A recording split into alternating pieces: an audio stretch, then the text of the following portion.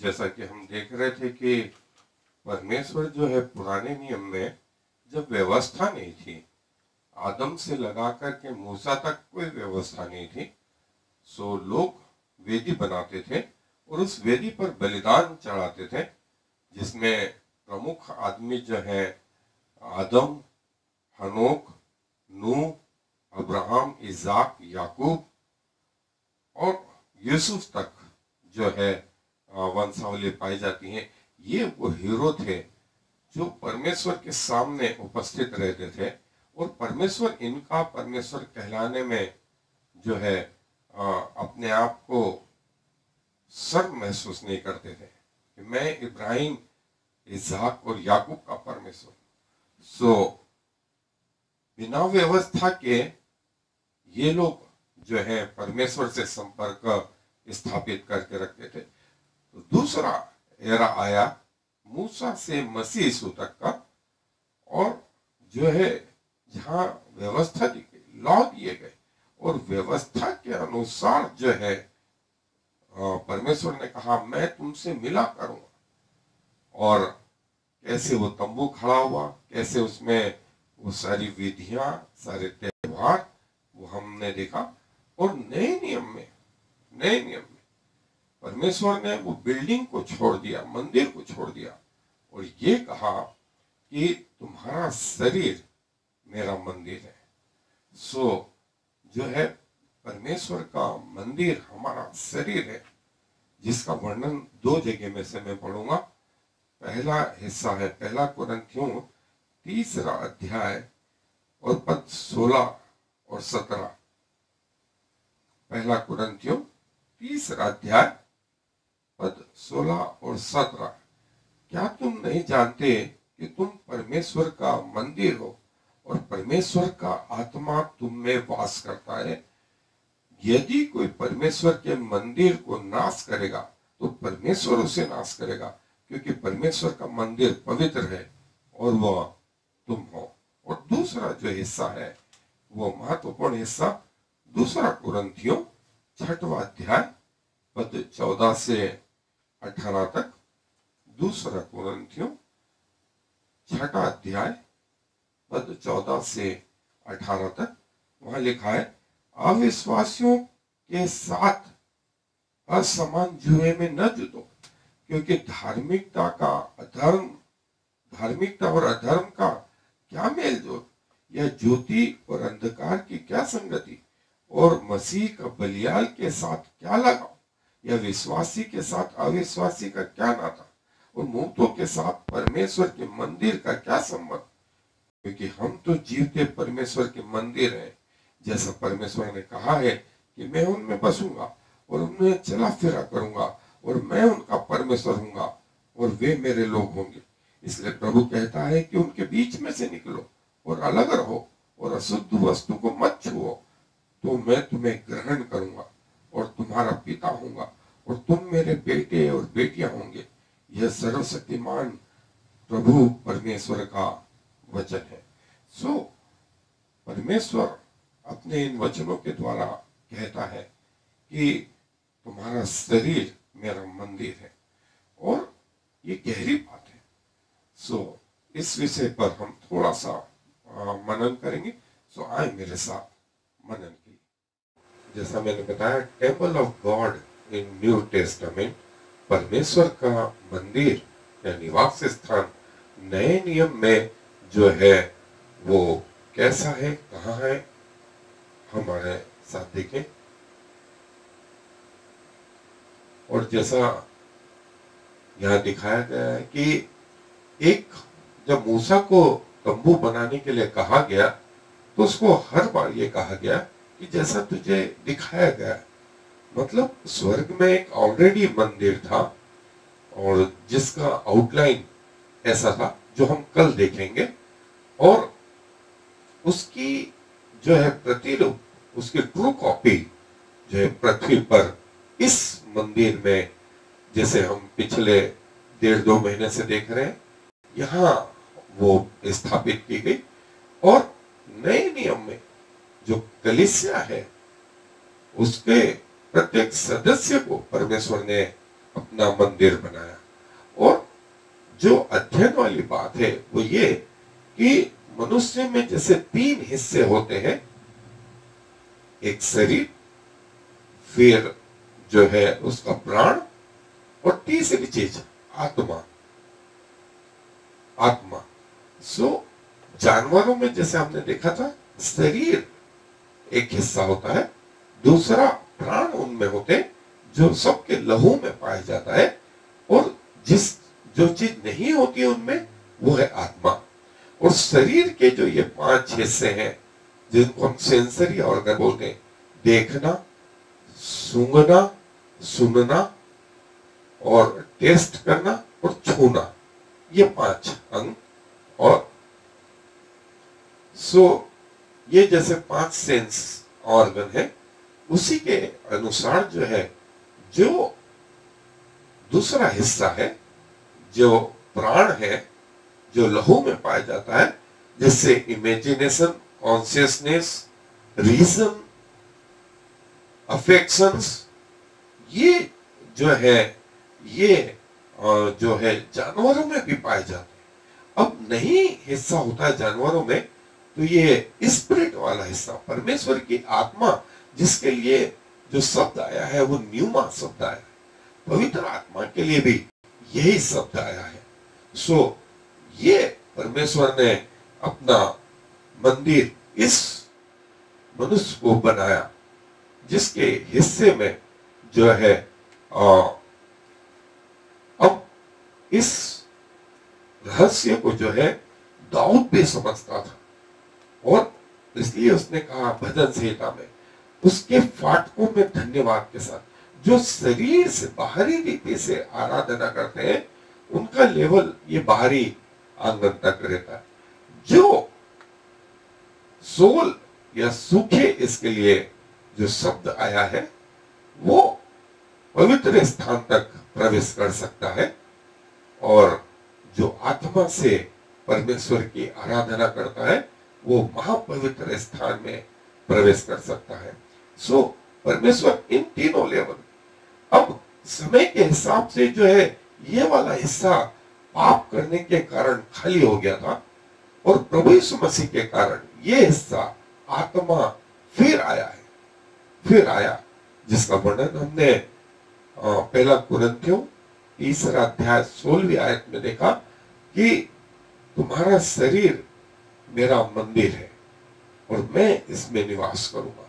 अब परमेश्वर वापिस इस शरीर में, नए नियम में, नए नियम की कलिसिया में, विश्वासियों में यहाँ आ गए तो शरीर ने और प्राण ने इस आत्मा का विरोध कर दिया। आत्मा चाहता है कुछ और करना और शरीर और प्राण उसको करने नहीं देते। ये जो द्वंद्व वाली स्थिति है ये युद्ध वाली स्थिति है, इसको स्पिरिचुअल वारफेयर कहा गया है, जिसका वर्णन रोमियो के पत्री सात, आठ अध्याय में पाया जाता है।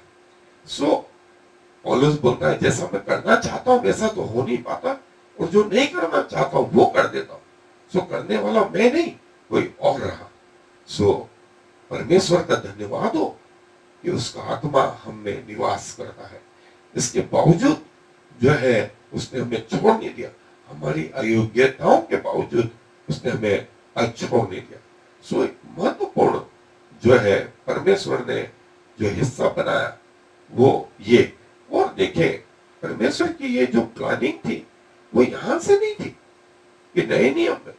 अब ये जो प्लानिंग थी, ये याकूब के इस दर्शन में भी थी। याकूब ने जो दर्शन देखा था बेतेल में, जिसका वर्णन उत्पत्ति के पुस्तक में है, उसके अट्ठाईसवें अध्याय में, जब उसने तकिया लगा करके सोया तो उसने देखा कि स्वर्गदूत ऊपर से नीचे उतर रहे हैं। सो, जो उसका ब्रेन पार्ट था, ब्रेन में ऐसा कहा जाता, ये हेड पार्ट में कि यहाँ आत्मा है। और ये महापवित्र स्थान का स्थान दूसरा जो हिस्सा है शरीर का, वो पवित्र स्थान और पाँव जो है, ये बाहरी आँगन के प्रतीक है। ये याकूब के दर्शन में जो है, ऐसा अब इसी को जो है, खड़ा करके यदि आप देखें तो सुलेमान ने दो पिलर बनाए थे, जिनका नाम उसने जौकीन और बुआस रखा था। और ये वो पाँव का हिस्सा ये वो पवित्र स्थान का हिस्सा और इसके दोनों तरफ़ हाथ के जैसे ये कंपार्टमेंट या कमरे बने थे जो याचकों के लिए थे। ये दोनों तरफ़ सुलेमान के मंदिर में। और ये बीच वाला हिस्सा जो है, ये पवित्र स्थान था। और जो सिर वाला हिस्सा था, वो महापवित्र स्थान।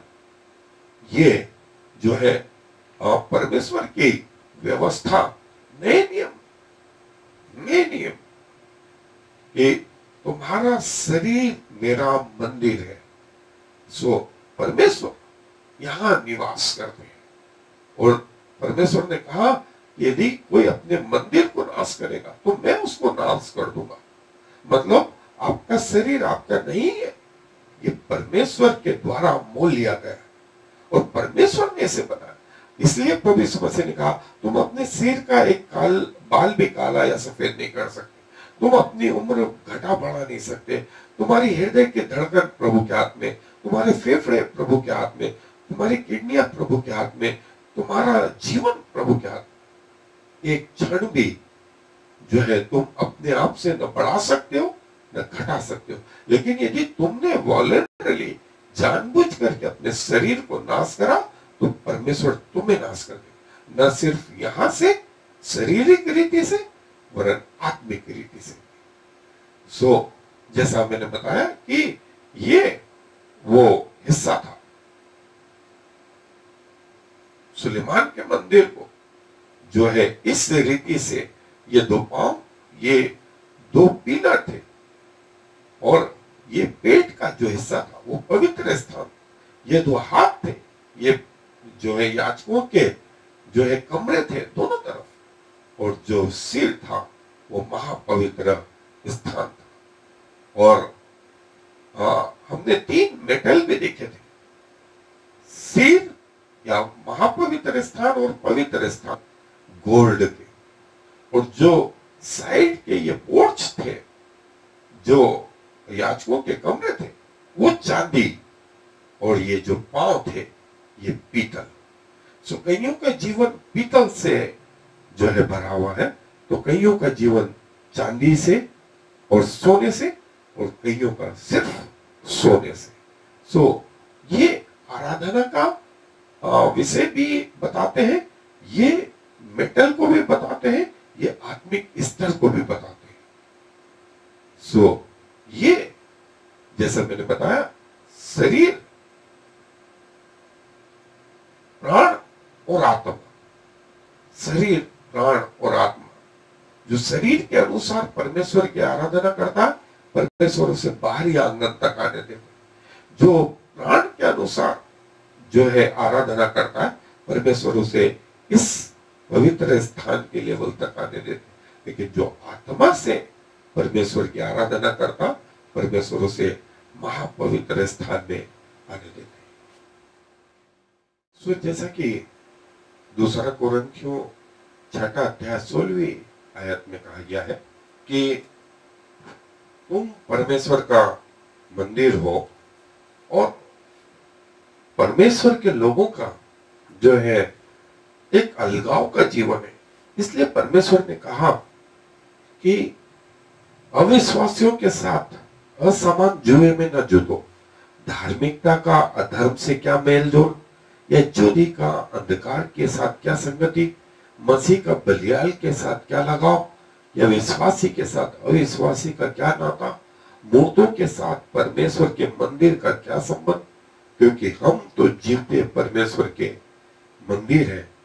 जैसा परमेश्वर ने कहा है कि मैं उनमें बसूँगा और उनमें चला फेरा करूँगा और मैं उनका परमेश्वर होऊँगा और वे मेरे लोग होंगे। इसलिए प्रभु कहता है कि उनके बीच में से निकलो। और अलग रहो और अशुद्ध वस्तुओं को मत छो। तो मैं तुम्हें ग्रहण करूँगा और तुम्हारा पिता होगा और तुम मेरे बेटे और बेटियाँ होंगे। यह सर्वशक्तिमान प्रभु परमेश्वर का वचन है। और प्रभु ने कहा कि तुम मेरे मंदिर हो। इसलिए चार चीज़ प्रभु ने कही। पहली चीज़ कही सत्तर आयत में कि जो है उनके बीच में से निकलो। पहली चीज़। दूसरी चीज़ कही, और अलग रहो अलग रहो। तीसरी चीज़, अशुद्ध वस्तुओं को मत छो। और चौथी चीज़, तब मैं तुम्हें ग्रहण करूँगा। कंडीशन परमेश्वर ने रखी। और उसके बाद, मैं तुम्हारा पिता होऊँगा, और तुम मेरे बेटे और बेटियाँ होंगे। सो नए नियम में परमेश्वर ने जो है बिल्डिंग को नहीं, वरन जो है जीवते मनुष्यों को अपना मंदिर बनाया। और ये कहा कि तुम मेरे मंदिर हो, इसलिए असमान जुए में मत जुटो। और उनसे जो है अपने आप को निकालो। और अलग रहो और अशुद्ध वस्तुओं को मत छुओ या पाप से रहित रहो। तब मैं तुम्हारा पिता होऊँगा और तुम मेरे लोग होगे।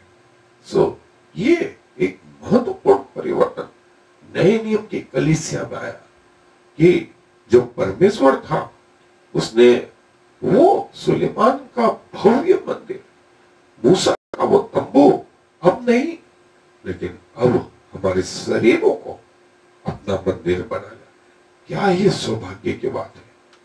क्या ये सौभाग्य की बात है कि परमेश्वर हमारे साथ में, हमारे बीच में, हमारे अंदर, और सिर्फ़ संडे संडे नहीं, या सुबह सुबह नहीं, या रात में नहीं, चौबीसों घंटे चौबीसों घंटे जो है परमेश्वर हमारे साथ में।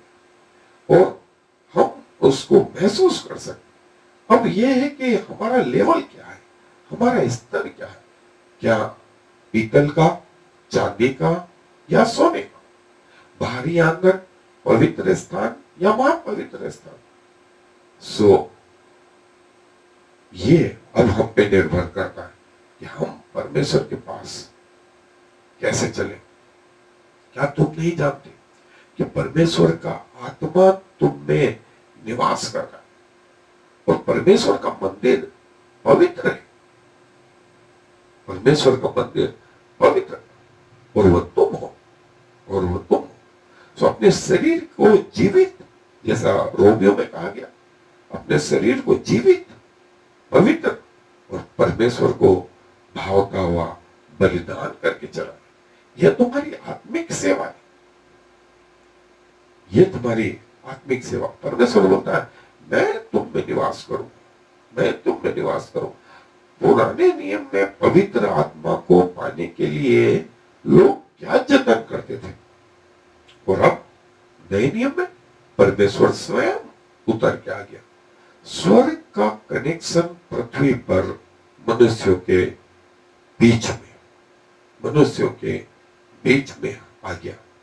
और परमेश्वर जो है अब मनुष्यों में निवास करने लगा है। सो ये पिछले 2000 साल से ये स्थिति है। सो बिल्डिंग है, जो हम जिसको चर्च बोलते हैं, वो मात्र एक बिल्डिंग है और कई बार बिल्डिंगें टूट जाती है, नष्ट हो जाती है। लेकिन परमेश्वर का मंदिर, वो बिल्डिंग नहीं, लेकिन उसमें बैठे हुए वे लोग हैं, जो परमेश्वर के साथ जुड़े हुए। जिन्होंने परमेश्वर को अपना धाम मान लिया है। और ये कि परमेश्वर जो है, निवास करता है। इसलिए मैं तुम में चला फेरा करूँ। मैं तुम्हारा परमेश्वर हूँगा और तुम मेरे लोग होगे। मैं तुम्हारे हृदय में निवास करूँ। मैं तुम्हारे हृदय में निवास करूँ। और ये परमेश्वर की हार्दिक इच्छा थी। और ये जो दिख रहा है, ये बिल्डिंग है।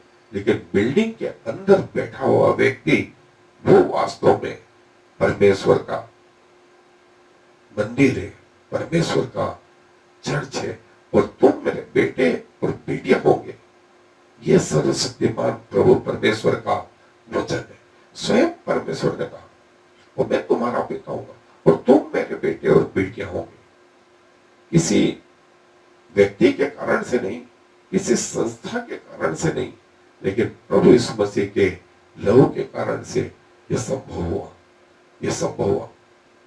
और इसलिए बोलता परमेश्वर, उनमें से निकलो और अलग रहो और अपने आप को पवित्र रखो, अशुद्ध वस्तुओं को मत छुओ।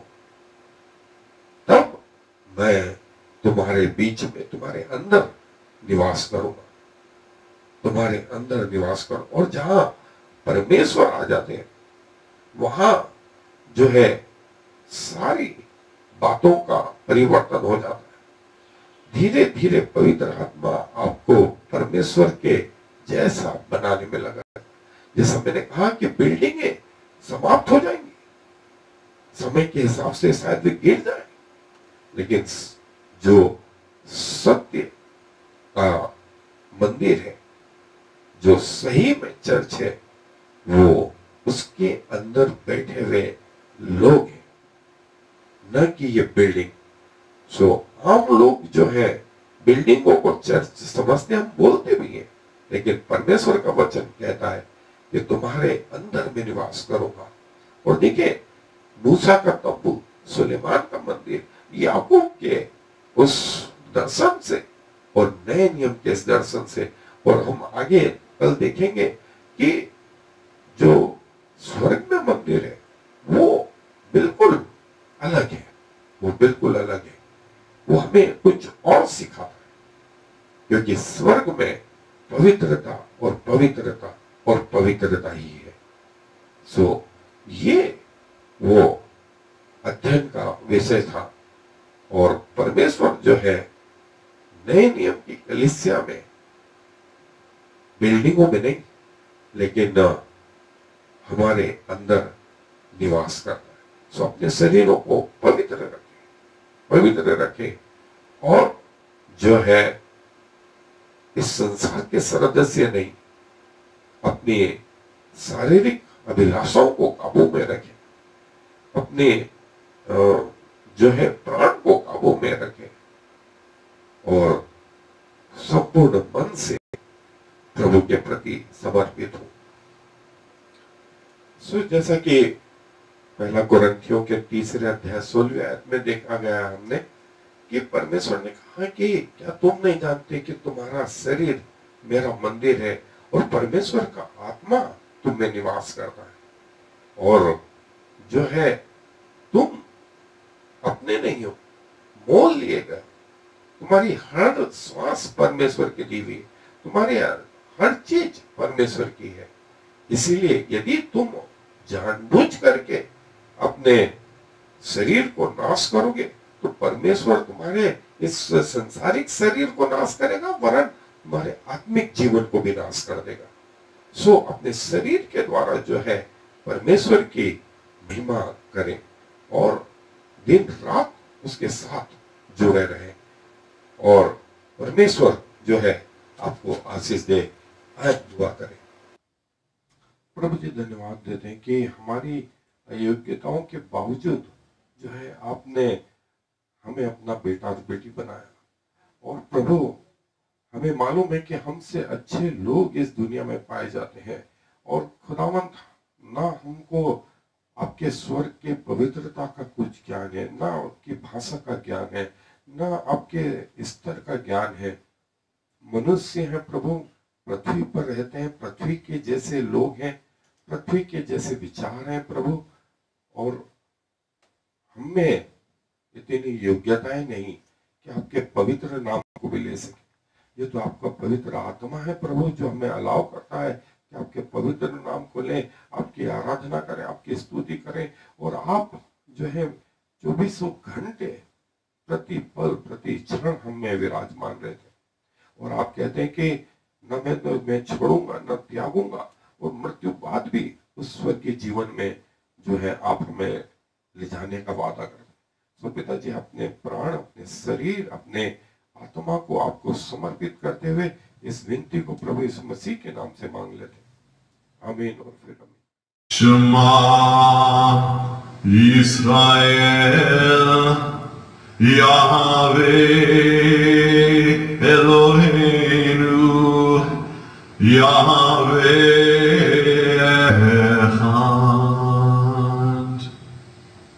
Hear, O Israel, the Lord is our God, the Lord alone.